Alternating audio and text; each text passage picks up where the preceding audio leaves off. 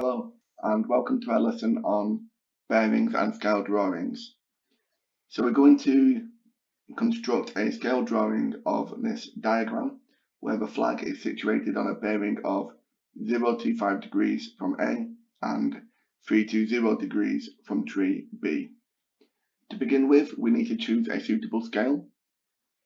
So the scale I'm going to choose is 1 centimetre is equal to 50 meters. So the real life is 250 meters, which means our scale has to be 5 times 50 to make 250. So 1 times 5 is going to be 5 centimeters. So the horizontal distance between the two trees will be 5 centimeters in our scale drawing. So I'm going to draw a horizontal line 5 centimeters long. And because I'm working with bearings, I'm going to draw in two north lines, each one from A and one from B. So we have north from A and north from B.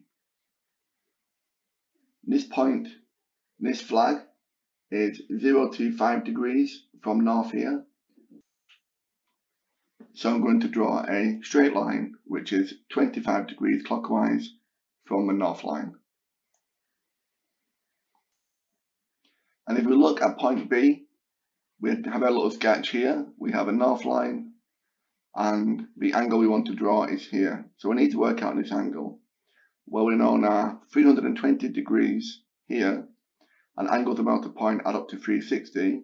So this angle is going to be 360 take away the 320, this is going to be a 40 degree angle. So I'm drawing a 40 degree angle anti-clockwise from a north line and you can see the two lines will intersect and this is where our flag will go. So we can show our flag at this point here. Now we can use the scale drawing to find the distance of the flag from A. To do this we'll use our ruler and you can see this is 4.3 centimeters on our scale. We know that 1 centimeter is equal to 50 meters so 4.3 centimeters we'll multiply both sides by 4.3 to keep the scale balanced. So the distance in real life will be 50 multiplied by 4.3, which is 215 meters. And the distance of a flag from point B,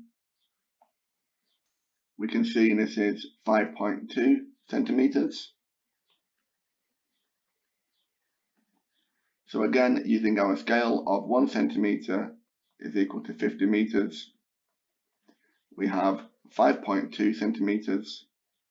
So in real life, it will be 50 multiplied by 5.2, and this is 260 meters.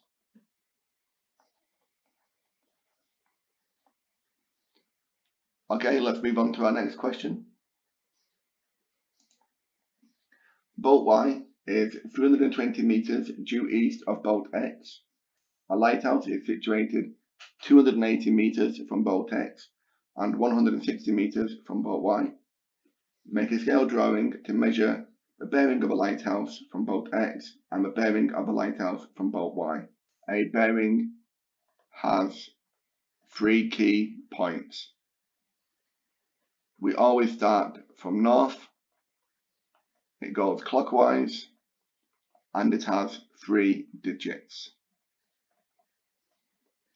So do you want to try and make this scale drawing and then work out the T bearings by pausing the video and you can resume it when you're ready. Okay, so the scale I'm going to choose is one centimeter represents 40 meters. So to begin with, I'm going to convert 320 meters, which will be 40 times 8 to make 320 and 1 times 8 so I need an 8 centimeter line and this will be the horizontal distance between x and y. So using the ruler I'm going to draw an 8 centimeter line and I will label this line x to y. So now I need a 280 meter from X to the lighthouse and 280 on our scale drawing would be 40 times 7. So 1 times 7, this will be 7 centimeters. So I will open the radius of the compasses up to 7 centimeters and draw an arc from X. And next I need to draw the 160 meters, which is the lighthouse from Y. So using our scale, one centimeter equals 40 meters. I've got 160 meters. So I multiply this by four. I multiply by one by four, and that will be four centimeters. So I need to draw a four centimeter arc from Y.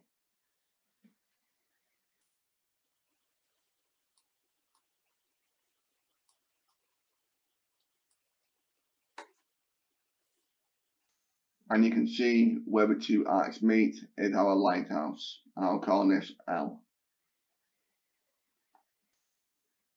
So now I'll draw the line from X to L and the line from Y to L. And I'm going to remember to include the north lines from X, from Y and from L.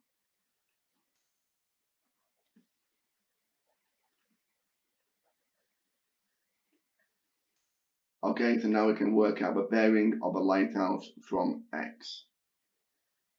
So we'll measure the angle of a north, from a north line going in a clockwise direction. And you can see this is 60 degrees.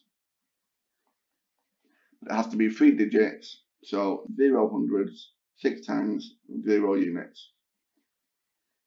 Zero, six, zero degrees. For question B, the bearing of the lighthouse from the boat Y.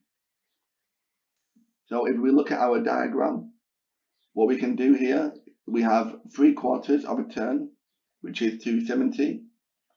So we're going to measure this angle here, and we'll add this onto the 270, and that will be our bearing. So we're going to measure this angle here, angle X, Y, L. And you can see this again is 60 degrees. So we have our 60 degree plus our 270, which in total is 330 degrees. Okay, thank you very much for watching. I hope you found that useful. Thanks again and take care.